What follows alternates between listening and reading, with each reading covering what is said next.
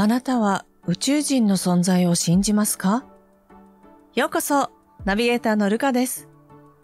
もしもこう聞かれた人からイエスの答えを聞くことはなかなか難しいかもしれません。特に日本の場合、宇宙人という存在はどこか次元の異なるオカルトや都市伝説的な立ち位置に置かれていますよね。しかし、アメリカ国防省が UFO の存在を認めるなど、海外での立ち位置は日本とは幾分異なるようです。さて、最近メキシコ議会が開いた公聴会で衝撃的なものが公開されたことをご存知でしょうか？公聴会のテーマは UFO と宇宙人。そこではなんと宇宙人のものとされるミイラが公開されたのです。果たしてそれは本物なのでしょうか？その結末は驚くべきものでした。そこで今回は宇宙人ミイラの真実をご紹介いたします。真実を知った後、皆さんが持つ宇宙の価値観は変わるかもしれません。メキシコ議会の公聴会で公開された衝撃的なミイラ。2023年9月12日、メキシコ議会で開かれた UFO に関する公聴会で公開された2体のミイラ。ジャーナリスト兼 UFO 研究家のハイメ・マウサン氏は、その石上で次のように述べました。これらのミイラは地球上のいかなる生命体とも異なる。我々は広大な宇宙で孤独ではない。と、そう、その2体のミイラが宇宙人のものだと主張したのです。マウサン氏の発言をそのまま鵜呑みにすることは難しいですが、法医学の専門家、ホセデ・ヘスス・サルチェ・ベニテス氏が、このマウサン氏の発言を支持したことで、俄然信憑性が高まりました。それではここで、公開された2体のミイラの詳細について少し触れておきましょう。これらのミイラが発見されたのは2017年のペルーでのこと。あの有名なナスカの地上絵付近、乾燥した珪藻土鉱山でミイラは発見されたといいます。宇宙人のものとされるミイラは、2体とも体の全体的な作りは人間と似ています。しかし、体長はわずかに30センチ程度、手足にある指は共に3本と、細部は人間とは大きく異なり、また後方に伸びる大きな後頭部からは大きな脳の存在を連想させ、知性の高さが伺えます。前述したベニテス氏によると、X 線検査、放射性炭素年代測定、DNA 分析などの様々な分析結果から、これらミイラの組成は人間とは異なり、それどころか地球上に存在するどの種との関係性も見えない、と結論付けられるようです。そして、ミイラの DNA の3分の1近くは未だ謎のままだとも伝えられました。他にも放射性炭素年代測定により1000年以上前に生きていたこと、X 線写真には片方のミイラの中に卵が映っていること、体内にオスミウムが主成分とみられる金属片が埋め込まれていること、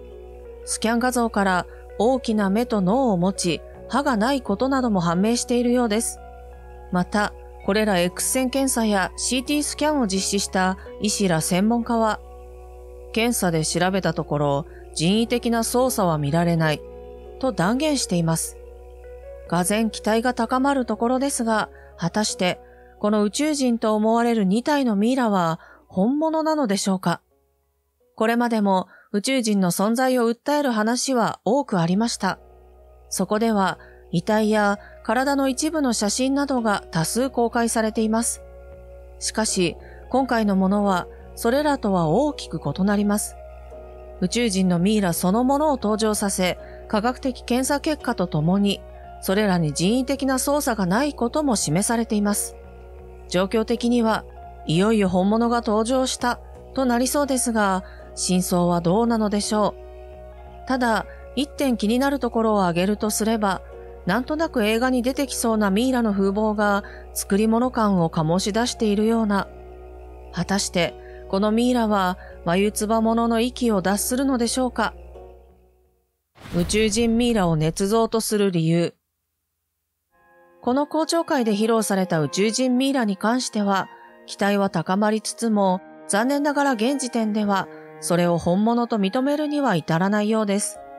今回は、メキシコ政府による公式の公聴会ではあるものの、主にマウサン氏個人の主張となるのがその理由です。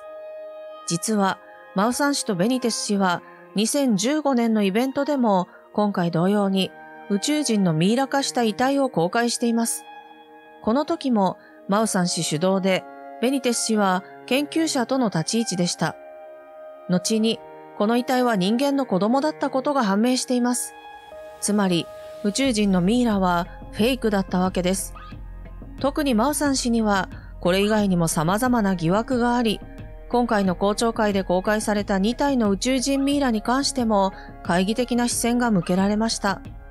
それはメディアも同じで、公聴会でのマウサン氏の主張に対して否定的な論調が並んでいます。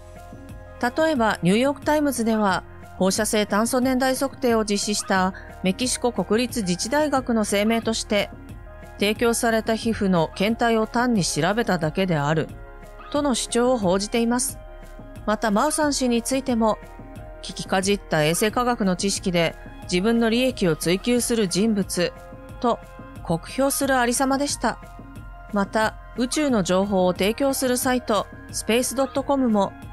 過去にも偽の宇宙人の遺体を本物と主張した事例がある、と、2015年の件を挙げ、批判的に報じました。こうなってくると、再創世紀の発見としての期待はできず、きな臭さがプンプンとしてきますね。ただ、もし捏造であるにしても気になる点もあります。それが、この宇宙人ミイラに対して、検査で調べたところ、人為的な操作は見られない、と主張した医師ら専門家の存在です。彼らは、宇宙人ミイラの X 線検査や CT スキャンに携わり、この発言をしています。それは何を意味するのでしょうか？実は、彼らが所属するのがメキシコ海軍研究所。この海軍研究所が今回の宇宙人ミイラの調査だけでなく、このミイラプロジェクト自体にも大きく関わっていました。中立なメキシコ国立自治大学は、ニューヨークタイムズの報道の見解と同じ立ち位置です。そう考えますと、マウサン氏とベニテス氏、そして海軍研究所は当事者であり、彼らだけの意見を鵜呑みにすることは公平性を欠くこととなり、非常に危険なのです。捏造説を指摘する専門家も。この2体の宇宙人ミイラに関しては、専門家からも批判的なコメントが出されています。その代表となるのが、形質人類学者のグイド・ロンバルディ氏、そして法医学考古学者のフラビオ・エストラーダ氏です。ロンバルディ氏は新聞市場で次のように語りました。これまでのナスカ地域で発見されたミイラ研究から大きなものは人間の遺体、小さなものは組み立てられた人工物であることは明らかだ。後者が今回のミイラを指すと考えられます。また、エストラーダ氏は今回のミイラに関して、動物や人間の骨をつなぎ合わせ、偽の皮膚で覆った作り物だ、と話しています。どうやら専門家の目には、宇宙人とされる2体のミイラ、そして様々な資料はすべてフェイクと映る向きがあるようです。さらに興味深い話があります。とある専門家たちが今回のミイラの手の X 線写真を復元し、より鮮明なものに仕上げた際のこと。そこからは様々な疑惑が浮上したといいます。一つ目は、ミイラの手の指の骨の一つが人間の足の指の骨と酷似しているという疑惑。二つ目は、ミイラの手の骨の接合部からは、生物の体として正常に動かすことが不可能であるという疑惑。三つ目は、ミイラの片方の腕は人間の腕の骨で、もう片方が人間のすねの骨と指の骨で構成されているという疑惑。そして四つ目は、最も衝撃的な疑惑でした。ミイラの体長は30センチほどですが、X 線写真のミイラは、専門家の見立てでは腕だけで推定40センチあるというもの。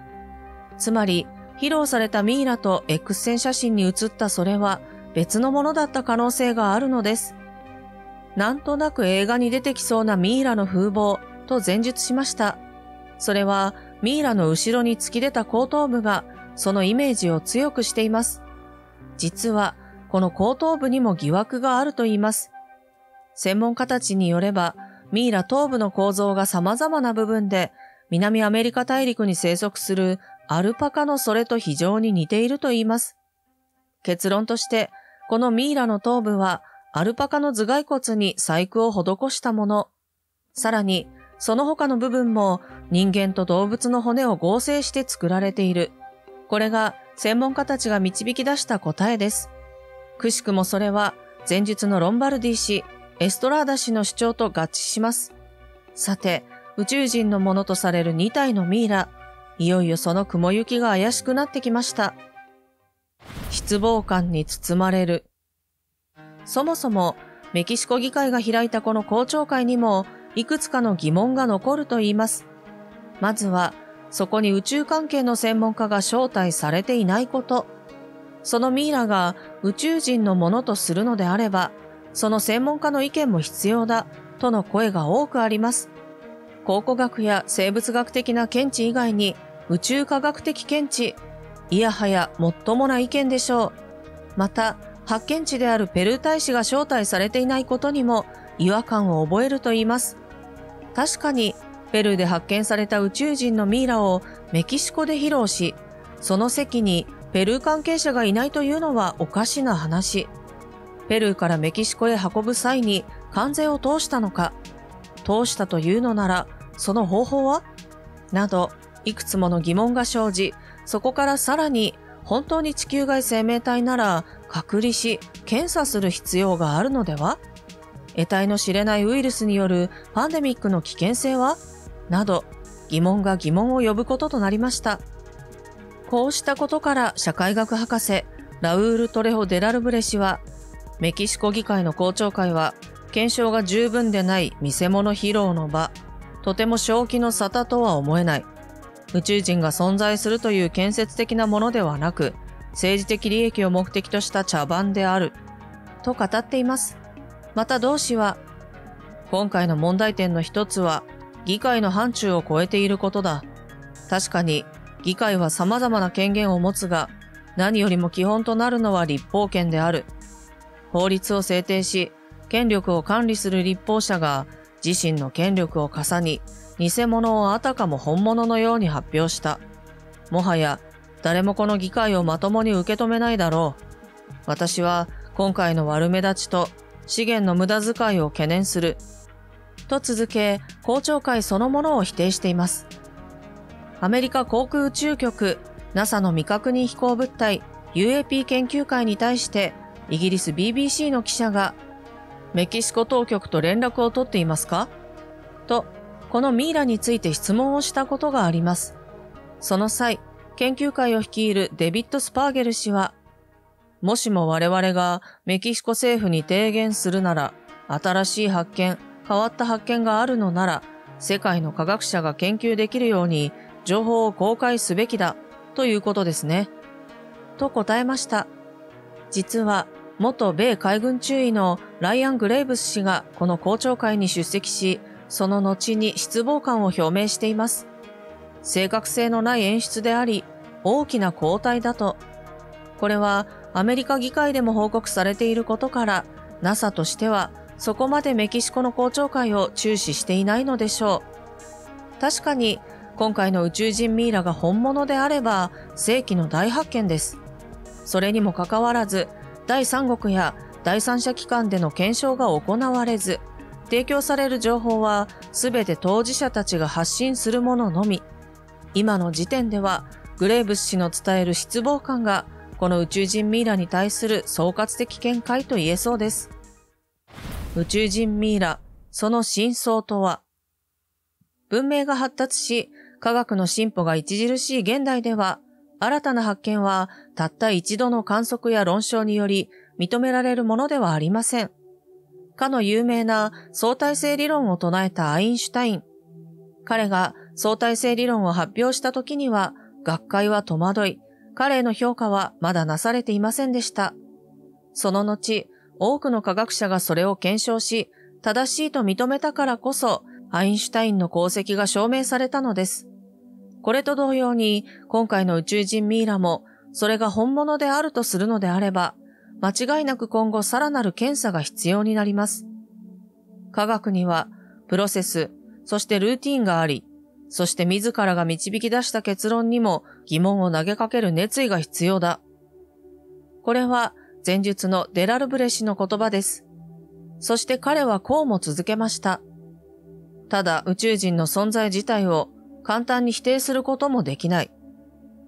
これはすごく重要な言葉と言えます。つまりは、今回の宇宙人ミイラには否定的な意見が多いものの、それがすなわち偽物だということにはなりません。もちろん、これは確かに宇宙人だとも言えません。あくまでも本物の宇宙人ミイラの可能性は低いと思われるが、そう簡単に結論を出すことはできない。これが今わかっている真相かもしれません。心の中では本当に宇宙人だったらロマンだな、なんて願った方も多いのではないでしょうか。しかし、なぜメキシコ議会はこうした謎の茶番を演じたのでしょうか一つ間違えば国家間もしくは国家そのものの信用すら損失しかねないというのに、そこには2022年と2023年にアメリカで続けて開催された UFO 公聴会の影響があると考えられます。実に50年ぶりとなるアメリカの UFO 公聴会は話題性抜群で世界の人々から注目を集めました。UFO や宇宙人の話となると、冒頭でも述べたように、オカルトや都市伝説扱いになり、一部の熱狂的な人にしか刺さりません。特に、情報源が個人だったり、あまり知られず、信用の薄い団体であればなおさらです。しかし、アメリカのように国家レベルでの話となれば、信憑性も高くなり、注目度も爆発的に高くなります。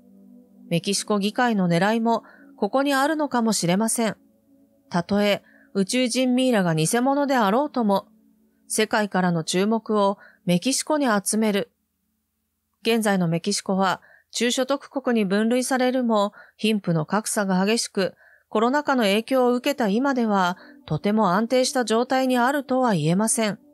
しかもニュースなどでも取り上げられることから治安が不安定な状態であることはご承知の通りです。こうしたメキシコの国内事情にはいくつもの要因がありますが、その中でも麻薬の問題が大きく比重を占めると言います。今回は政治的な話、経済的な話ではありませんので、詳細は割愛しますが、こうした現状を打破するために必要なのが経済的な発展です。イーロン・マスクが新工場をメキシコに作るなど、流れが来ているのも事実です。ここで一つド派手なアドバルーンを上げてメキシコを世界にアピールしたい。こうした国策とマウサン氏とベニテス氏の利害関係が合致した。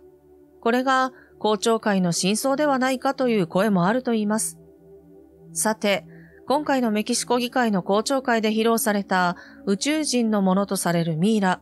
その結末は意外なものでした。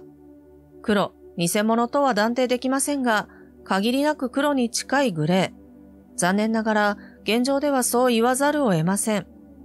宇宙に夢を抱く人にとっては何とも複雑な結果です。もし偽物であるのなら宇宙に対する期待感をそぐ蛮行となりかねない非常に大きな罪と言えるでしょう。ただ本物であったという衝撃的なニュースに変わる可能性がないわけではありません。ここはわずかながらもその可能性に期待しつつ今後の進展を注視したいところですね。